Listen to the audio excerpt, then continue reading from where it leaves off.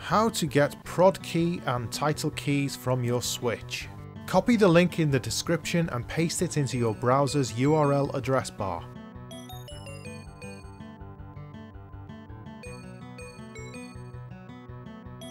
Inject the payload.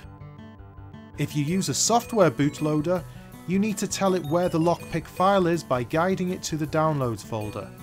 If you don't know how to do this, there is a guide in the description below. If you have a physical bootloader like a mod chip or SX Pro dongle, you need to copy lockpick into the root of the SD card and rename it payload.bin. Don't forget to move the file already there called payload.bin somewhere safe so you can return it when you are done with lockpick. Lockpick should load on the switch. Hold the switch vertically and use the plus and minus volume buttons to go up and down the options.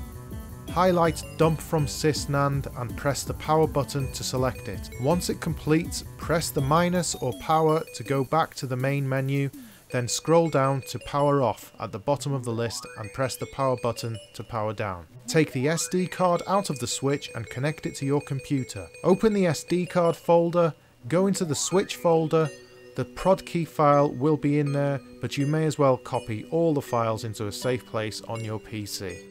If this guide was useful, please leave a like and thanks in the comments. Please like the video and if you want to see more, hit subscribe and the notification bell to my channel where I upload playthrough and guide videos from a variety of systems every day. Any donations are greatly appreciated and the details are in the description.